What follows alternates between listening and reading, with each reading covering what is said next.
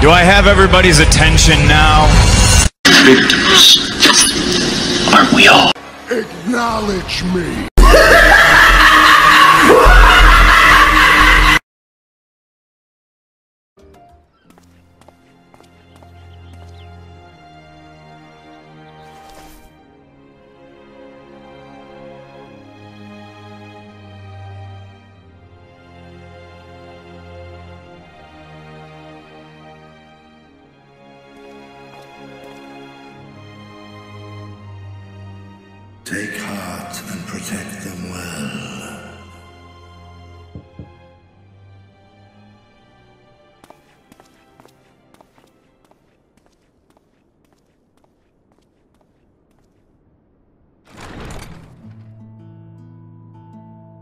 Good, you're here. You haven't eaten yet, have you? We've bought quite a spread if you're interested. Only the finest dining from the last stand.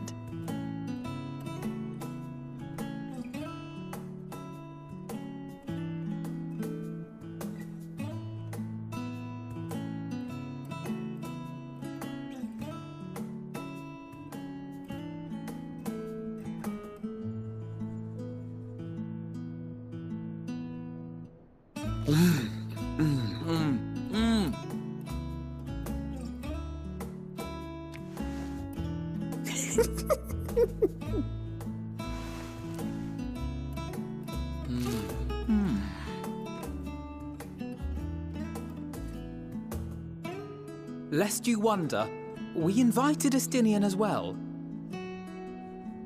But he refused with a rather grim-faced, no thank you. I suspect Sharlayan cuisine is not to his liking. Oh, I don't know about that. Perhaps our lone wolf just needed some time apart. What? To perfect his brooding stare? Next time, I'll drag him out by the ear, sit him down in front of a Sharlayan feast, and see that he eats every last bite. An excellent idea. Of all people, warriors must take proper meals and rest if they are to maintain a healthy constitution. Poor Estinian, beset on all sides.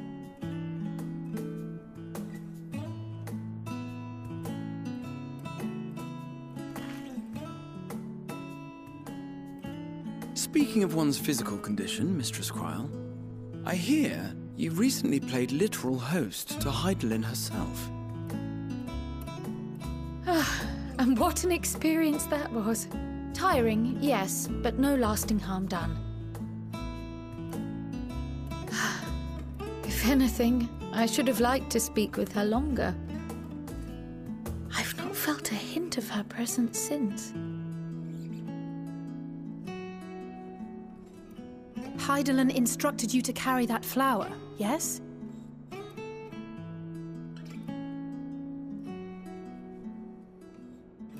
Twill be your guide, test and proof of your conviction.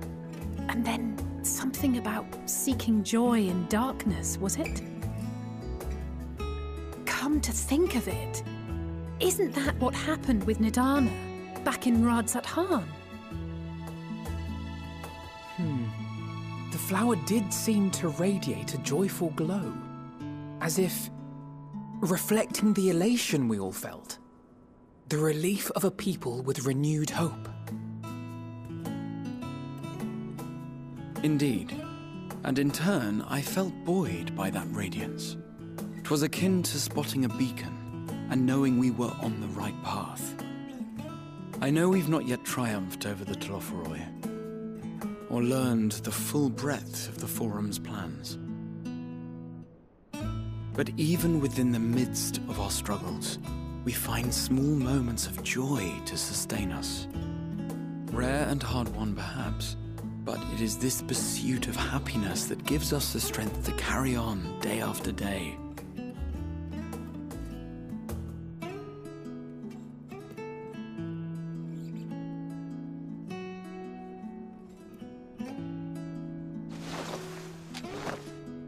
Hey, that's mine. To the swift the spoils. Though I recall that levitation spell of yours was quick enough. Mm, only barely. And even at my best, I'm still too slow to wield it effectively in battle. Mayhap I simply require more practice with this new magic.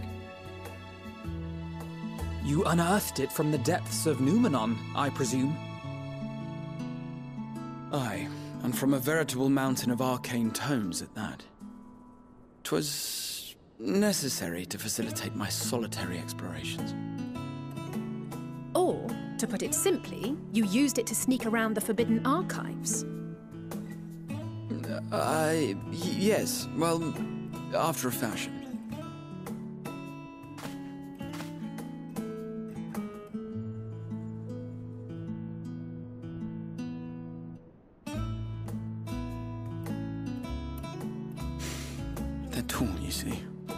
Shelves, they're too tall for me.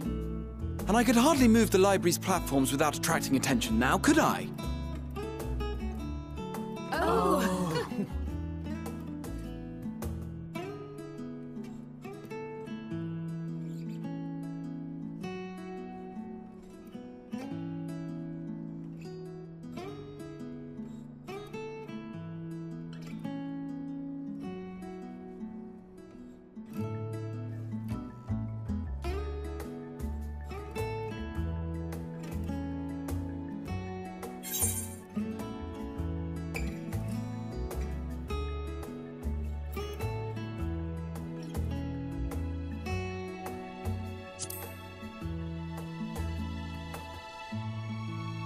One last cup of tea, then. Dickens said this brew helps relax the mind before bed. And gave us some leaves for free.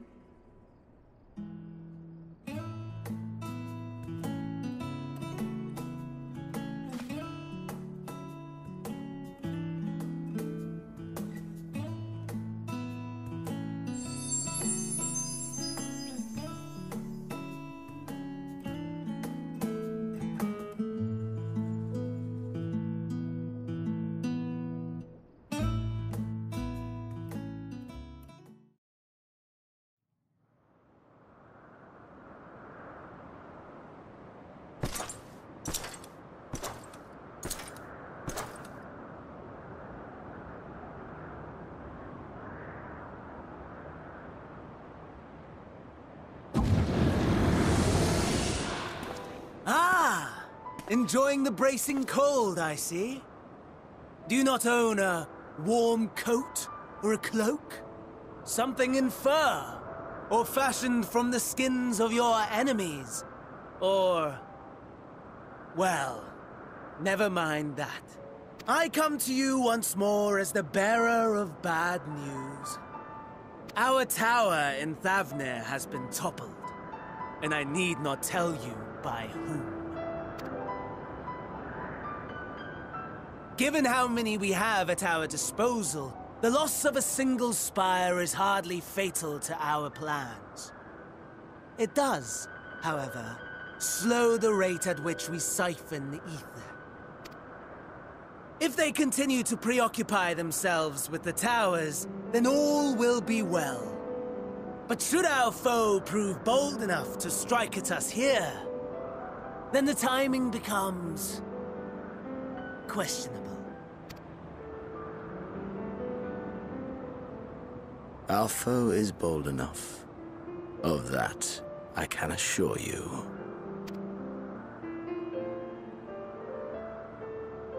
Ah, yes, very well then. I suppose I must prepare a proper welcome. Honestly, talk of your nemesis is the only thing you seem to enjoy. Does nothing else spark your interest?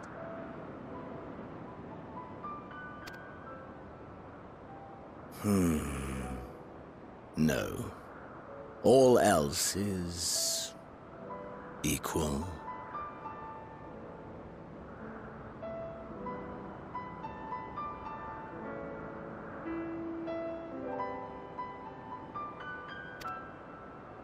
Equally tedious, equally disappointing.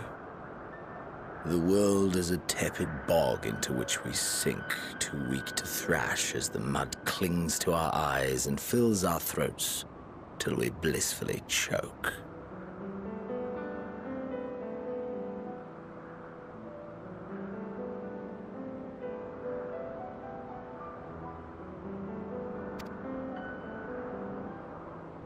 Then came the light, blinding and pure and hot, so very hot, enough to set my soul aflame.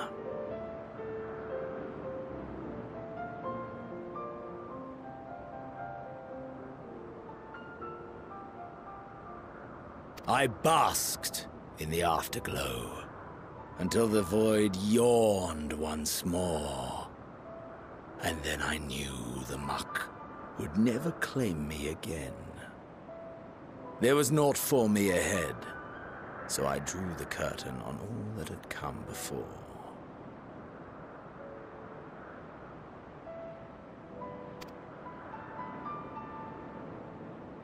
Burn. Burn. Let the whole star burn. I will have my contest. I will reclaim my moment.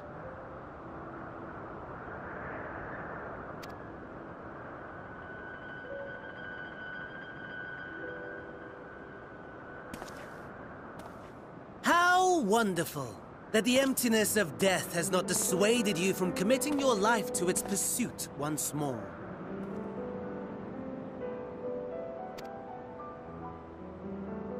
I don't know whether to envy you or pity you.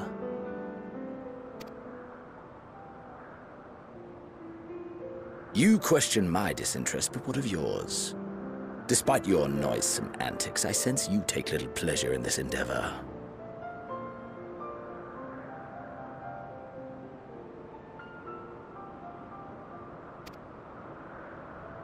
Mercy, my lord. Such pointed barbs from one who barely acknowledges my existence.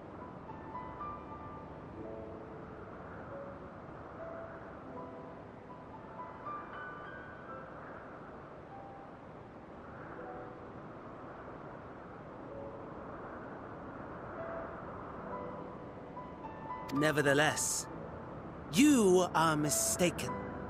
For I do find this part somewhat enjoyable. You see, when I was mortal, I would always have the same dream. It was a fragmented thing, disjointed, all the faces incomplete. The setting, too, was unknown to me. So I thought it simply a fantasy of my sleeping mind.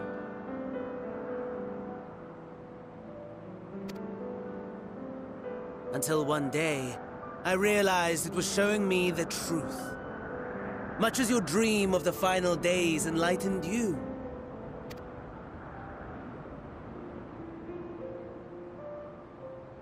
And soon, very soon, the rest of the world will see the truth of my dream, too.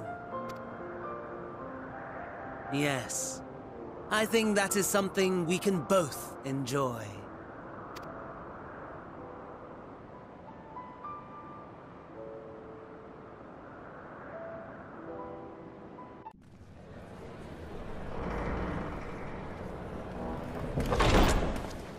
By the Twelve.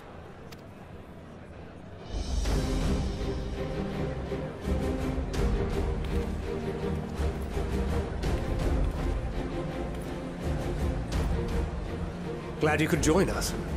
I hope you don't mind, but we went ahead and started without you. As you can imagine, our traveling companions were eager to become acquainted. Tis a rare thing indeed to see such a diverse and talented group of individuals assembled for a single purpose. We fight not only for the sake of Eorzea, but for the entire world, including the people of Garlemald. Much rides on the efforts of the Ilsabard contingent. Indeed, which is why I am glad to find myself in the company of many trusted comrades, yourselves included. Lucia! I have come at the behest of Lord Aymeric, who has honored me with the role of Ishgard's representative. For the good of all nations, not least my former homeland, I am determined to see this mission through to its end. We have a hard road ahead of us, but walk it we shall, together.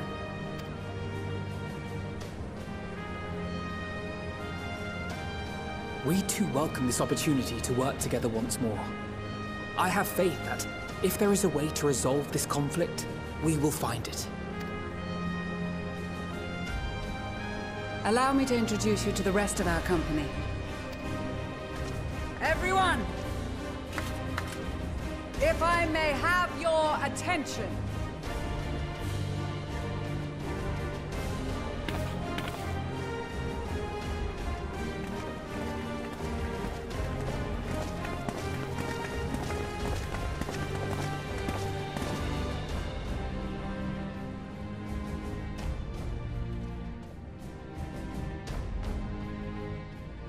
Might I ask you to speak first?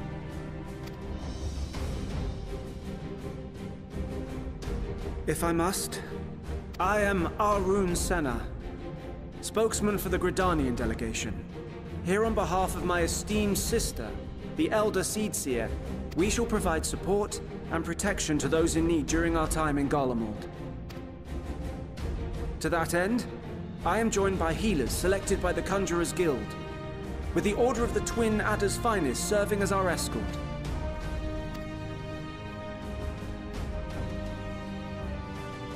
Suppose I'd better say my piece. Wait, I know you. The name's Sicard, in case you've forgotten. Truth be told, I'd rather you had forgotten.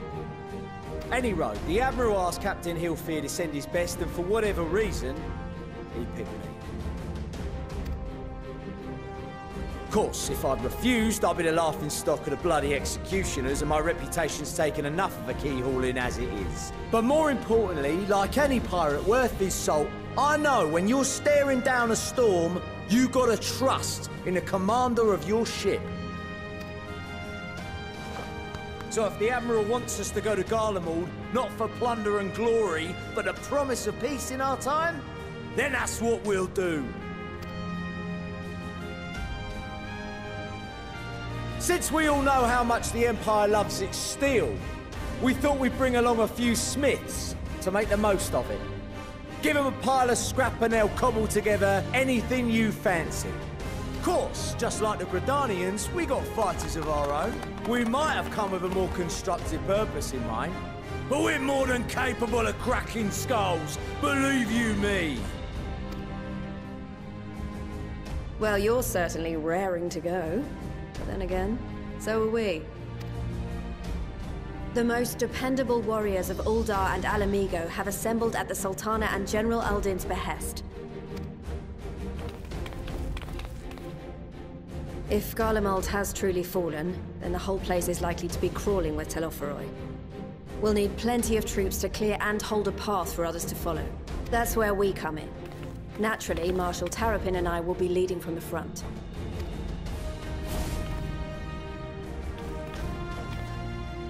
It's been some time since I last saw you in your element on the battlefield. From what I've heard, you've become pretty fearsome yourself. Master Matoya? The Avatar of Destruction?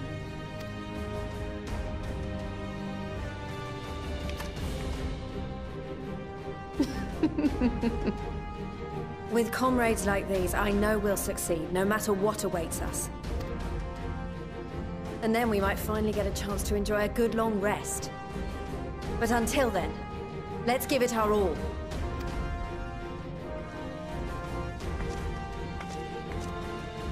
As for Ishgard, we Temple Knights have come in force to uphold our nation's commitment to the peace and welfare of our allies.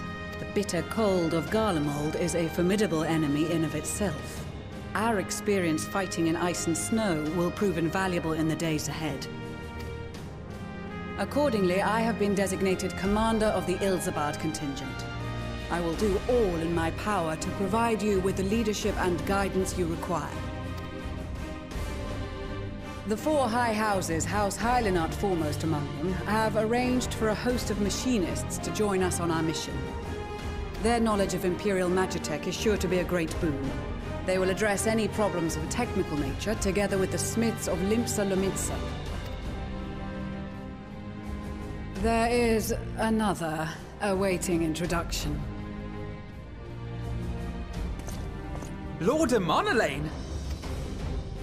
Ah, yes. Uh, de Fortemps, at your service. Though, lest there be any misunderstanding, I should stress that I've not become a fearsome warrior while you were away. Rather, far from it, actually. My brother, in his infinite wisdom, decided this would be an excellent chance to make something of myself. Oh, and fight for world peace and all that. But should the opportunity arise for a spot of ballroom dancing, I will be your twinkle-toed gentleman of light.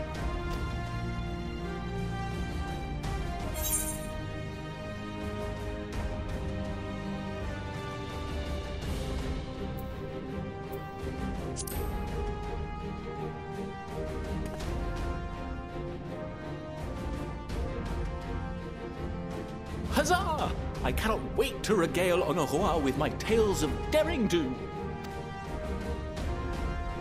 I believe that concludes introductions for the Grand Company of Eorzea.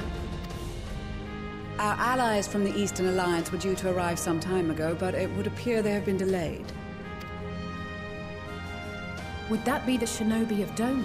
Actually, they've been tasked with relaying messages back and forth between the various Eastern nations. According to Lord Hien, however, an equally capable company of warriors has been sent in their stead. Out of my way, you preening fool!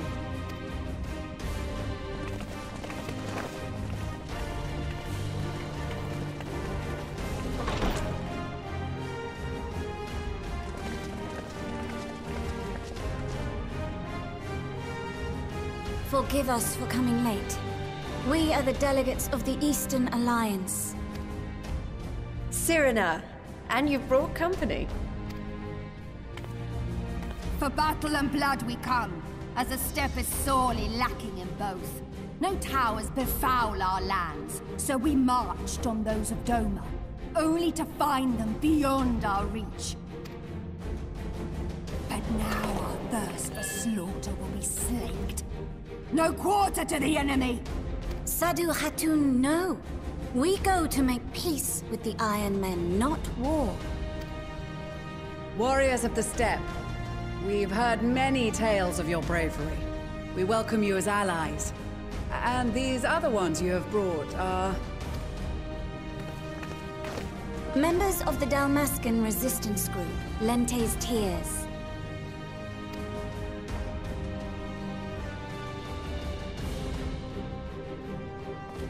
And the Bozjan resistance. Between them, they have a wealth of experience in espionage, and are particularly adept at infiltrating Imperial facilities. Which is fortuitous, since Garlemald's domain is so vast that I could never hope to handle reconnaissance duties all by myself. Dalmasca, Bozja, Ala-Mhigo. All lands which have suffered the tyranny of the Empire. I would never presume to question your motives. Nevertheless, I must reiterate that our goal is to aid the victims of the Telophoroi, the common folk of Garlemald. And they are victims, make no mistake. Though I understand that many may struggle to see them as such. You're more right than you know. For every one of us that answered the call, there were a dozen that refused. Not only in Ala-Mhigo, but everywhere we went. And who could blame them? The Empire's always been the enemy. But after seeing what we've seen, fighting and working against and with Garleans, there's no denying the simple truth. They're just people. No different from you or I. They've got their share of liars and murderers, but so do we. So do we all. Fordola, who once swore herself to Garlemald, has proven herself a trusted ally time and time again. Every Eorzean here knows Cid Garlond, the Imperial defector who shared with us countless technological wonders. Maxima, who stands with us today, tried to reform Garlemald from within and make peace with Doma. So you can believe me when I say that every fighter here understands and accepts that the Imperials are not monsters and are deserving of help. Or at least that they were able to put aside their feelings for the greater good. It won't be easy.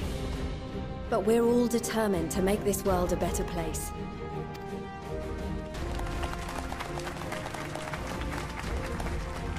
What lingering concerns I may have had were clearly unwarranted. I agree with everything you said wholeheartedly. Then we are in accord. Now, let us review our strategy. To reach the Garlean capital in northern Ilsabard, we must cross the central mountain range. Fortunately, Garlond Ironworks can provide aerial transport, sparing us this most treacherous part of our journey. However, attempting to fly any closer to Garlemald would attract the attention of the Telophoroi. As they appear to have seized control of the majority of the Imperial military, we must assume that includes its fleet. In addition, Garlemald possesses devices that can interfere with airship navigational systems further discouraging an airborne approach. Given the circumstances, the closest we dare deploy our contingent is an area between the range and the capital, the Magna Glacies. From there, we must travel the rest of the way on foot. We will also need to bring the airships with us to ensure we can withdraw with haste. Although much of the terrain will be blanketed in snow, we should be able to make use of local roads and shipping facilities. The vast ice field will afford us an unobstructed view of the surrounding area. On the other hand, it will also allow others to easily spot us, so it is imperative that we only make camp in positions where we can easily defend ourselves. And the airships, which must be kept safe at all costs.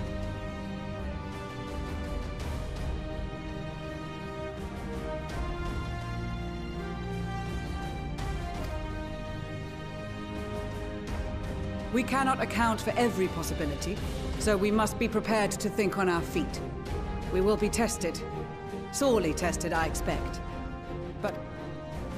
Spare no effort in your preparations. Once we depart, there is no turning back.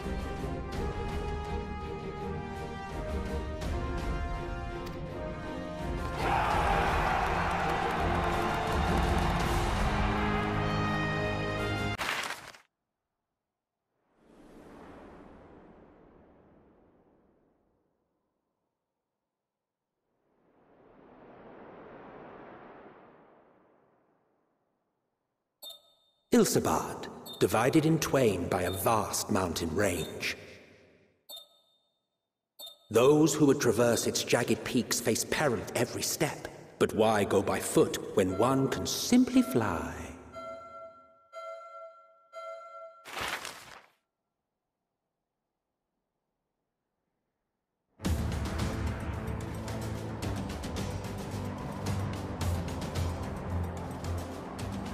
On the outskirts of the Imperial capital, in the frozen wastes of the Magna Glacies,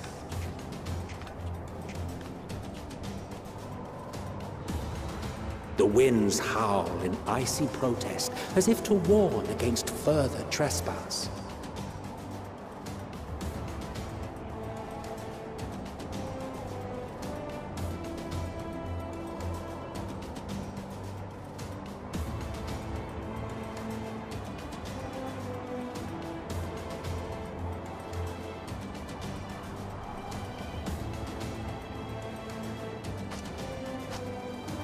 Received word from Thancred's reconnaissance party. They have sighted a detachment of heavily armed Imperials. Survivors of the Civil War, perhaps? Perhaps, but there is more to it than that.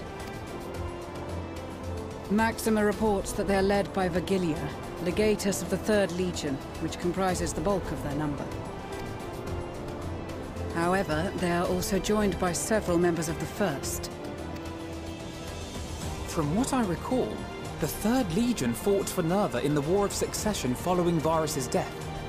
The First, on the other hand, were under the direct command of the Emperor and rejected Nerva's claim to the throne. These legions were enemies. Indeed. In fact, our sources claim that it was a conflict between them that sparked the Civil War. Yet now, these former foes cooperate to defend a ruined Garlemald from invasion. Then it is all but certain they have been tempered. So, what's the plan? If me and my crew is out reaving, we charge straight in, no messing about. But that ain't what we're here for. Quite right. Soldiers or no, they are people of Garlemald. The very ones we have come to aid. Direct confrontation is unavoidable. Nevertheless, we must make every effort to limit casualties on both sides. Rather than kill them, I would remove them from the field. How so? Savage beatings, disarmament, and imprisonment? Not impossible, but easier said than done in the heat of battle.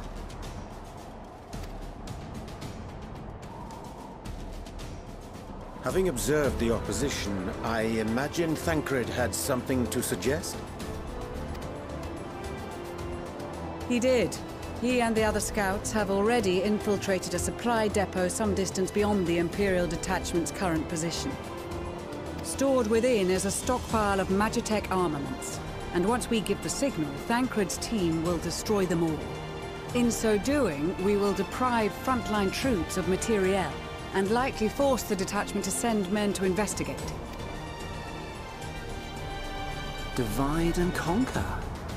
Not a bad idea. Once the scouts have finished their preparations, we will split into two groups. The first will form the vanguard, while the other brings up the rear with our supplies.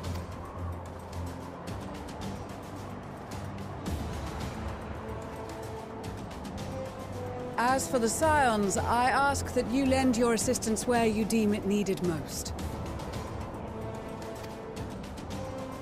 I would prefer, however, that you accompany the rearguard and be prepared to join the van at a moment's notice. Kept in reserve as our trump card, so to speak.